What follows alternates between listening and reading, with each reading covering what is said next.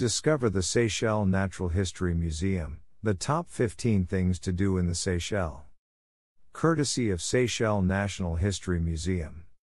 Situated in Victoria on Mahe Island is the Seychelles National History Museum, home to an array of exhibitions and displays that showcase the Seychelles geology.